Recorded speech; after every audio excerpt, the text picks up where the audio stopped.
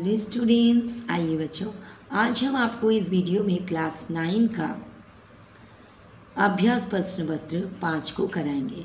बच्चों, इसके आगे मैंने अभ्यास प्रश्न पत्र का एक, दो, तीन, चार, चारों अभ्यास को हम सिखा दिए हैं। अगर आपने उस वीडियो को नहीं देखे हैं तो ज़रूर से ज़रूर देख लीजिएगा। क्योंकि ये सब एग्ज़ाम के लिए बहुत ही ज़रूरी रहेगा। ये आपका जो चार चैप्टर है, सारा चैप्टर से उपसर्ग प्रत्यय, अर्थ के आधार पर बाकी के भेद और अलंकार।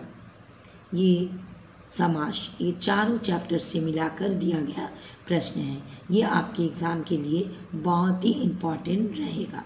तो आप शुरू से अंत तक वीडियो को ज़रूर देखिएगा। एक का का भिन्न उपसर्ग से बने शब्द को पहचान कर समूह से बाहर कीजिए।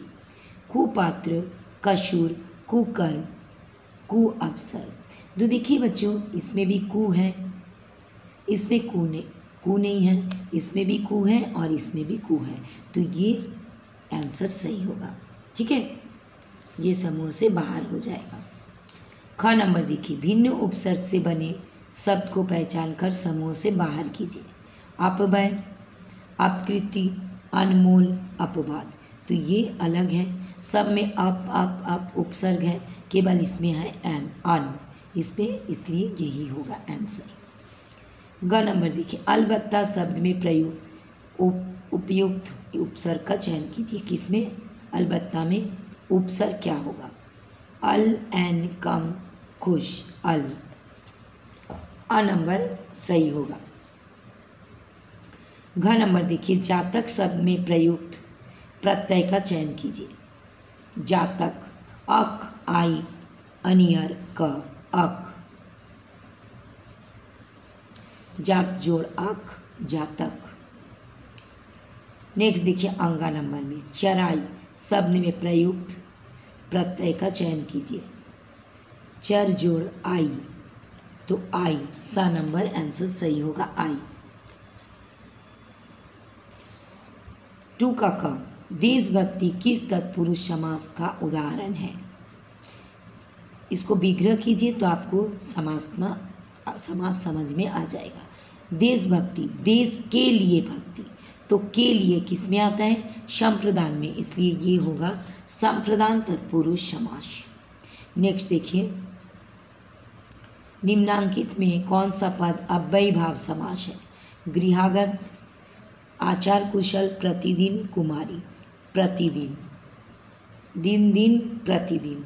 और अभ्युदय समास का पहचान क्या है? अव्यय भाव समास को जानने के लिए आपको क्या जानना है? उपसर्ग। यानी जिसका पहला शब्द उपसर्ग होगा, ये एक पहचान है। अब दूसरा है, जब आप विग्रह करेंगे तो एक ही शब्द जब दो बार आएगा और बीच में हाइफेन आएगा, तब वो अव्यय भाव समास होगा। जैसे दिन दिन प्रतिदिन। तो यहाँ पर दिन हाइफेन दिन।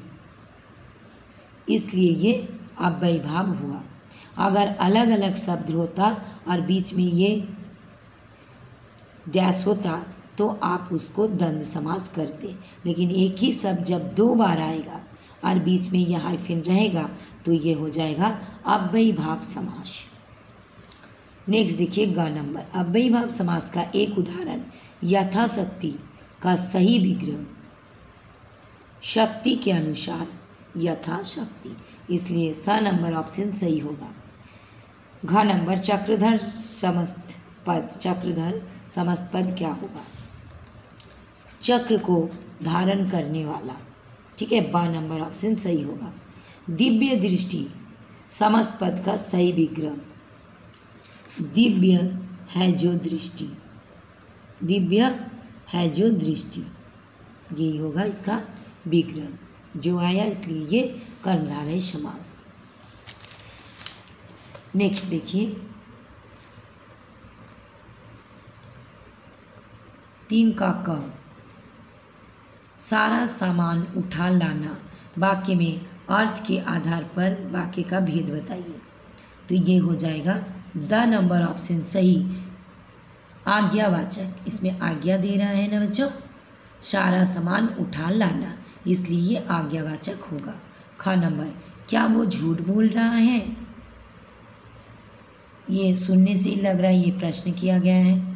पूछा जा रहा है कि क्या वो झूठ बोल रहा है और ये प्रश्न सूचक है। इसको देख के ही आपको समझ में आ जाएगा कि ये द नंबर ऑप्शन सही होगा, प्रश्नवाचक। नेक्स्ट देखिए, ग नंबर में, सरोज विद्यालय जाओ। ये ऑर्डर दे रहा है, आज्ञा दे रहा है, इसलिए ये आज्ञावाचक होगा। ठीक है? नेक्स्ट देखिए, घ नंबर में संदेहवाचक वाक्य को चुनना है। संदेहवाचक तो इसमें ब नंबर सही होगा। नहीं, ऐसा हो ही नहीं सकता। ठीक है?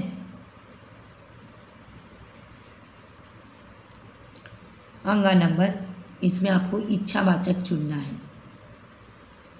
तो इच्छावाचक में शाह नंबर होगा। मैं डॉक्टर बनना चाहती हूँ। क्लियर?